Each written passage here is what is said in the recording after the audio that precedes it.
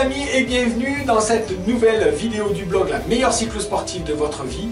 Ici Nicolas Elzéard, le coach des cyclistes passionnés et audacieux qui cherchent à être plus performants tout en harmonisant leur vie. Alors aujourd'hui je vais vous parler d'une euh, question qui m'est très souvent posée euh, dans les commentaires, dans les mails qui me sont envoyés, je vous en remercie euh, d'ailleurs, qui est comment bien s'alimenter pour réussir sa cyclosportive, pour réussir sa course. Et donc nous allons voir ça dans les différentes étapes importantes pour bien réussir votre course. La première étape, eh bien, c'est avant la course. Hein. Comment bien s'alimenter avant la course? Eh bien, d'abord, euh, l'idée, c'est plus de, faire des, trucs 3-4 jours avant, etc. Le repas de la veille, le jour d'avant est important. Vous devez bien manger, mais de manière légère, pas trop lourde. Trop lourde, qu'est-ce que ça voudrait dire? Ça veut dire essentiellement deux choses. D'abord, pas trop riche en gras, ça ne sert à rien. Ça risque bah, de vous faire prendre un peu de poids, mais c'est pas, pas tellement ça, mais de vous créer des problèmes digestifs si vous êtes un peu stressé. Tout ce qui est gras est long à digérer et long à passer dans les intestins, donc tant au niveau de l'estomac que des intestins. Mangez plutôt des choses qui sont légères, c'est-à-dire avec un petit peu d'huile d'olive, un filet d'huile d'olive dans une salade, euh, très peu de gras euh, quand vous cuisinez, mais c'est tout. Évitez de manger des choses qui sont grasses. Deuxième chose, pas besoin de se gaver en quantité d'accord euh, Que ce soit, quels que soient les aliments, c'est pas la peine de se gaver en disant Waouh, j'aurais besoin de beaucoup d'énergie pour la veille. Non, ça risque juste d'alourdir votre estomac, donc de générer du stress et éventuellement de mal dormir euh, pendant la nuit. Alors, c'est pas grave si vous dormez mal la nuit juste avant la course, la nuit de l'avant-veille qui est importante, la nuit de, la veille, euh, des études ont montré que c'était pas très important. Mais ceci dit, ça sert à rien de garder, d'avoir l'estomac lourd. Manger léger, particulièrement le dernier repas de soir. Manger une petite portion de pâtes ou de riz. Et puis euh, des légumes euh, juste grillés revenus. éventuellement un petit blanc de poulet, un petit blanc de poisson et puis ça, ira très bien, un petit dessert léger, les yaourts ça vous aide à digérer, c'est pas mal. Et puis ça irait très bien. Évitez les salades, parce que pareil les salades, même si c'est très bon, les veilles des cours ça peut irriter, fatiguer votre organisme. Donc ça n'est pas la peine. Pareil, si vous êtes sensible euh, au niveau des intestins avec le stress, évitez la veille les fruits, et euh, les pâtes et les riz, le riz complet, je vous conseille régulièrement de manger du pâte et du riz complet, mais c'est plus lourd à digérer et ça peut un petit peu irriter la paroi euh, intestinale si vous êtes stressé. Le jour de la course, eh bien, évidemment, ça va dépendre des horaires. Si la, votre course est le matin ou si elle est le midi, si vous avez un ou deux repas à faire avant. Mais grosso modo, si votre course est le matin, faites un repas dont vous avez l'habitude.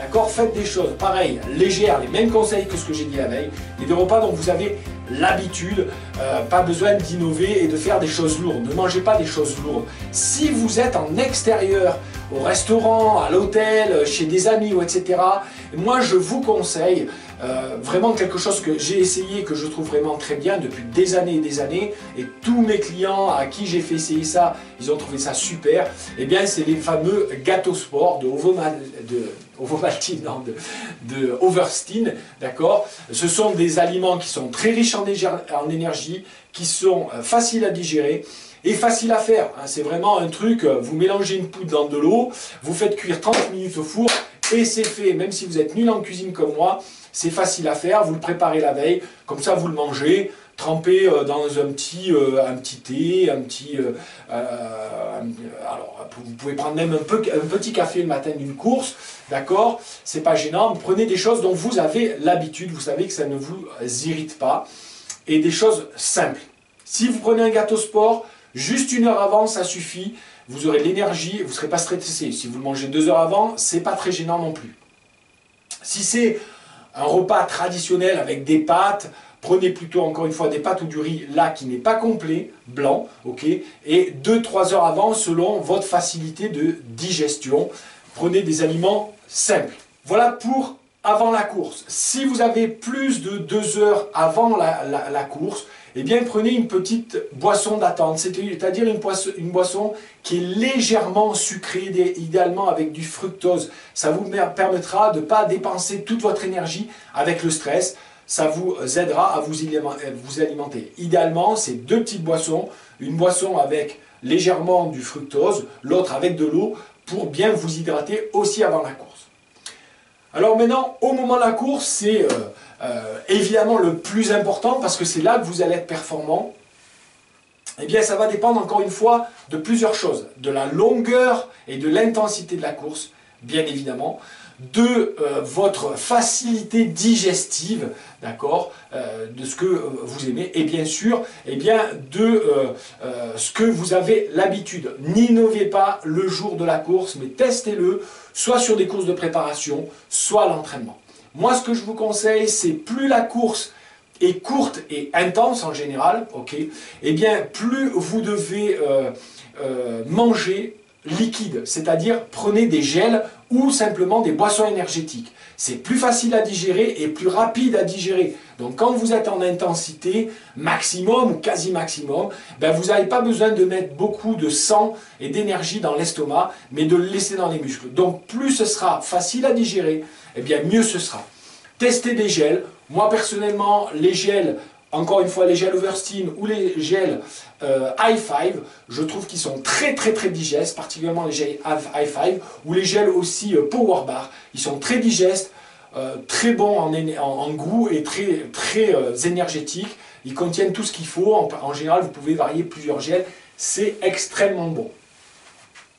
Plus vous allez augmenter la durée de la compétition et donc diminuer l'intensité. Forcément, hein, on ne met pas la même intensité sur une course de 2-3 heures que sur une course de 7 ou 8 heures. C'est évident. Donc là, vous allez pouvoir mettre plus de solide, des barres, des barres de céréales, des, euh, des, des, barres style pâte d'amande, pâte de fruits, etc. Et pourquoi pas, pourquoi pas, eh bien des petits sandwichs ou des choses un petit peu plus dures. Alors, forcément, comme l'intensité est plus basse, vous pouvez mieux le digérer.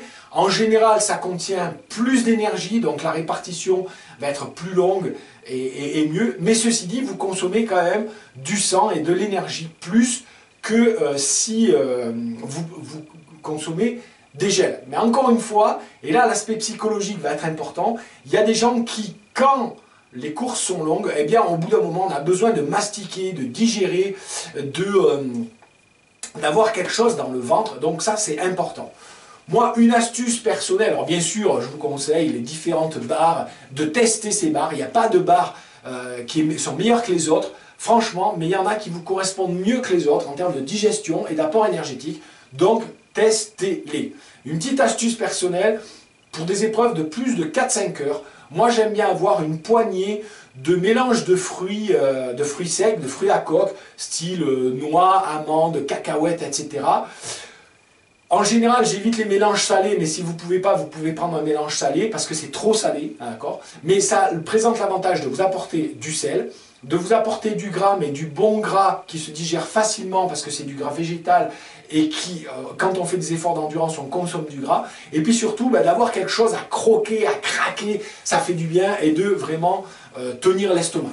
Voilà. Après, euh, certains supportent les fruits et c'est très bon parce que ça apporte de la bonne énergie, c'est antioxydant, donc sur le long terme c'est pas mal. Certains ne les supportent pas, ça crée des problèmes de gras donc encore une fois c'est à vous de tester. Pareil pour les petits sandwichs, testez les différents sandwichs avec du pain de mie ou avec du pain frais, croquant ou pas croquant, avec du jambon ou avec du jambon de poulet, avec de la salade ou sans salade, testez. Mais ça, c'est à vous de, voir ce qui vous convient le mieux. Enfin, un dernier point qui est important, c'est selon euh, l'intensité et le dénivelé de la course. Hein. Sur une course de plat, eh bien, on va pouvoir s'alimenter de une barre, une barre ou un gel toutes les heures. Ça suffit à peu près, d'accord? Parce qu'il faut savoir que grosso modo, sur du plat, vous allez consommer aux alentours de 300 à 500 calories par heure. Évidemment, ça va dépendre de votre gabarit, de la vitesse à laquelle vous allez, mais grosso modo sur le plat, vous êtes entre 300 et 500 calories de l'heure.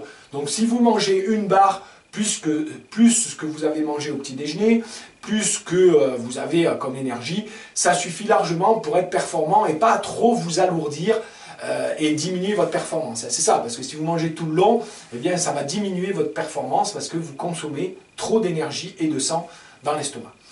Par contre, sur les étapes de montagne, sitôt que le dénivelé est supérieur à euh, euh, entre 500 et 1000 mètres pour des courses de moins de 3 heures et plus de 2000 mètres pour des courses de plus de 3 heures. D'accord? Donc, sitôt qu'il y a du dénivelé, là, votre consommation énergétique moyenne est aux alentours, encore une fois, selon votre gabarit, selon la vitesse à laquelle vous allez, mais entre 500 et 1000 calories à l'heure. Donc, il est important de manger plus fréquemment.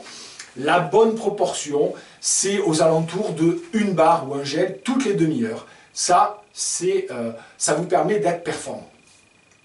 Le dernier point clé et essentiel, vous le savez, votre facteur limitant le plus important, ce n'est pas l'alimentation, mais l'hydratation. Si vous êtes déshydraté, eh bien, vous serez moins performant.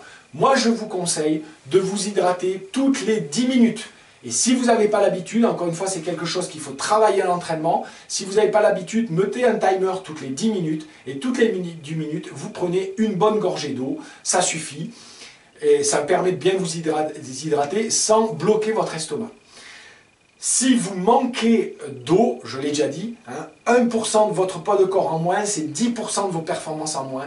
Donc buvez régulièrement. Prenez un bidon d'eau et un bidon de boisson énergétique ou deux bidons d'eau, parce qu'encore une fois, l'eau est le seul aliment qui vous hydrate vraiment. Chaque fois que vous mettez quelque chose dans l'eau, ça vous déshydrate. Vous risquez de vous déshydrater. Donc bien sûr, si vous avez besoin de boisson énergétique, prenez aussi une gourde d'eau et vous buvez toutes les 10 minutes eh bien, un petit peu des deux, ou alternativement, une fois de l'eau, une fois de la boisson énergétique. Voilà pour bien euh, s'alimenter, euh, pour réussir votre course et votre cycle sportive. J'espère que cette vidéo a répondu à votre question. Je vous dis à très bientôt pour une prochaine euh, vidéo sur la meilleure cyclosportive de votre vie. Bien sûr, pour recevoir gratuitement chaque semaine les vidéos quand elles sortent, vous pouvez vous inscrire sur le lien juste en dessous. Et puis sinon, eh bien maintenant, c'est à vous de jouer.